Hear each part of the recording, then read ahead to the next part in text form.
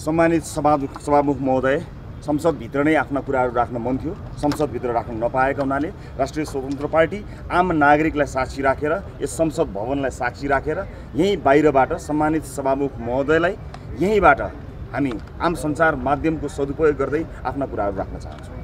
सबभन्दा पहिला गृहमन्त्रीज्यूले हिजो दिनुभएको जवाफ त्यस जवाफलाई लिएर केही प्रश्नहरू छन् त्यसमा म केही कुरा राख्न चाहन्छु। गृहमन्त्रीजीले पैँतिस दिनको समय माग्नु भएको छ।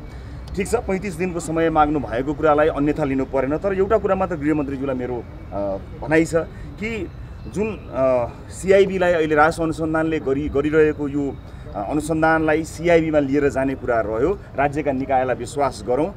त्यसपछि अभियोजनको प्रक्रियासम्म पुग्न दिउँ भन्ने कुरा मान्य गृहमन्त्रीजीले गर्नुभयो। गृहमन्त्रीजीलाई मेरो एउटा प्रश्न मात्रै हो यो कि कुनै कानुनमा टेकेर त तपाईँले गर्नुभयो होला। सिआइबीलाई नदिने भनेको होइन। मैले सिआइबीलाई दिने कुराको विरोध गरेको पनि होइन। तर कुनै पनि प्रक्रियामा जाँदा कुनै न कुनै कानुनलाई टेकेर हामीले गर्नुपर्ने हुन्छ। हामी कानुनी राज्यमा छौँ। सभामुख महोदय मार्फत म गृहमन्त्रीज्यूलाई सोध्न चाहन्छु कि आम नेपाली जनतालाई स्पष्ट पारिदिनु होला कि कुन कानुनमा टेकेर चाहिँ यो यो अनुसन्धान राजस्व अनुसन्धानबाट यो सिआइमा लानुभयो यसबारे जानकारी गराउनु होला। यति ठुलो मात्रामा सुन तस्करी भएको सम्भवतः नेपालको इतिहासमा यो सबैभन्दा ठुलो अपराध हो। यो लामो समयदेखि निरन्तर चलिरहेको एउटै कम्पनीले यति धेरै सुनहरू ल्यायो। यसको मतलब विभिन्न निकायको मिलोमतो छ। यस्तो मिलोमतो गर्दाखेरि सुरक्षा निकायको मिलोमतो नहुने त कुरै रहेन। सुरक्षा निकायको मिलोमतोको कुराकानी गर्दा र मुलुककै यति ठुलो यो तस्करीको कुराकानी गर्दा सामान्य त्यहाँ भएका कर्मचारीहरूको मात्र मिलोमतोले यो सम्भव भएन जहाँ चाहिँ यो अनुसन्धानले छापा मार्यो। त्यहाँ भएका सामानहरू हेर्नुभयो भने त्यहाँ प्रशस्त त्यस्ता सामानहरू विभिन्न सामानहरू आएका छन्। त्यसभित्र सामान एउटा छ र भित्र सुन राखिएको छ। अठार उन्नाइस पटकको त एउटै कम्पनीको हामीले देखियो। यसको मतलब सुरक्षा निकायदेखि लिएर भन्सारको ठुलो सहभागिता छ। मन्त्रालय स्तरमा कसको सहभागिता छ म भन्न सक्दिनँ तर यति ठुलो तस्करीमा उच्चभन्दा उच्च तहको संलग्नता छ भन्ने कुरा कहीँ कतै कसै सामु लुकेको छैन। त्यस कारणले अनुसन्धान गरिरहँदा अहिले बहाल रहेका चाहे अर्थ मन्त्रालयका सचिव लेभलका हुन् चाहे प्रहरी प्रमुख नै किन नहुन् उहाँहरूको संलग्नता वा उहाँहरूको चाहिँ ग्रिन सिग्नल वा उहाँहरूको कुनै न कुनै संरक्षण छ कि छैन भन्ने कुरा त शङ्काको विषय भयो। जुन परिमाणमा हामीले यो तस्करीलाई देख्यौँ। त्यसले गर्दा उहाँहरू बहाल रहिरहँदा त्यो होल सेट अझ भन्सारको सिङ्गो सेटमध्ये केही मान्छेहरूलाई मात्र हटाएर यो अनुसन्धान अगाडि बढाउँदाखेरि यो अनुसन्धानमा कतिको न्याय होला यहाँ कतिको चाहिँ नि जायज होला। र अर्को कुरा फोरेन्सिक ल्याबमा दावा नाम गरेका व्यक्तिको र अन्य संदिग्धहरूको टेलिफोन लगिएको छ। त्यो फोरेन्सिक ल्याबको टेस्टले देखाएको उहाँहरूसँग भएको कुराकानीको सम्पूर्ण विवरण आम नेपाली जनताले हेर्न पाउनुपर्छ।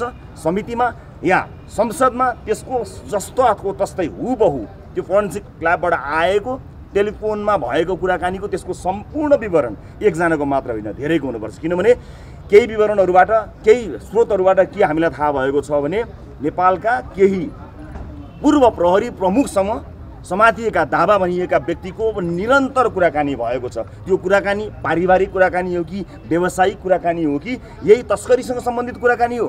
त्यस कारणले सिआइबीलाई दिने कुरामा कुनै सन्देह रहेन। पैँतिस दिन गृहमन्त्रीले माग्नुभएको गृहमन्त्रीज्यूलाई पैँतिस दिन दिउँ। पहिलो कुरा सामान्य सभामुख मार्फत म यो भन्न चाहन्छु कि सिआइबीलाई त्यो अनुसन्धान जिम्मा लगाउनका लागि कुन कानुनमा टेकियो त्यसबारे स्पष्ट पारिदिनु होला फोरेन्सिक ल्याबमा बाट आएको रिपोर्ट आम नेपाली जनताले हेर्न पाउनुपर्छ। त्यो जस्ताको तस्तै सार्वजनिक गरियोस्।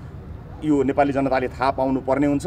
र अहिले विद्यमान रहेका प्रमुखहरू यति ठुलो तस्करीमा माथिसम्मको सहमति नभइकन सियो पनि नपस्ने ठाउँमा यत्तिका ठुलो क्विन्टलका क्विन्टल सुइन पस्नु भनेको एउटा दुईवटा कर्मचारीले आँट गर्नै सक्दैन कुनै हालतमा गर्न सक्दैन। यो सामान्य आँट भएर पुग्दैन ठुलो गिरोह लाग्छ। त्यो गिरोहमा अहिले प्रमुख जिम्मेवारी लिइरहेका मानिसहरू त कतै छैन। सिआइबीमा जाने कुरामा फेरि पनि म शङ्का गर्दिनँ तर सिआइबीलाई कसले हेड गर्छ? तिनै मानिसहरू अझै पनि प्रमुख ती निकायका प्रमुख भइरहँदा अनुसन्धान प्रभावित हुन्छ कि हुँदैन? ती मानिसहरूलाई सेटै निलम्बन गर्ने कि नगर्ने? यो कुरा अत्यन्त महत्त्वपूर्ण कुरा हो। त्यस कारणले त्यस समयमा रहेका र अहिलेसम्म कार्यान्वयन रहेका केही मानिसहरू त हटे होलान्। तर सम्पूर्ण सेट भन्सारको सिङ्गो सेट मन्त्रालयदेखि अर्थ मन्त्रालयको सिङ्गो सेट यो अर्थ सचिवज्यूदेखि र प्रहरीको सिङ्गो सेट प्रहरी प्रमुखदेखिलाई निलम्बन वा उहाँहरूलाई अहिले टेम्पोररी त्यहाँ सहभागी हुन नपाउने किसिमको व्यवस्था नभइकन सिआइबीले बिना प्रभाव यो काम गर्न सक्ला र गृहमन्त्रीज्यूलाई मेरो प्रश्न धन्यवाद।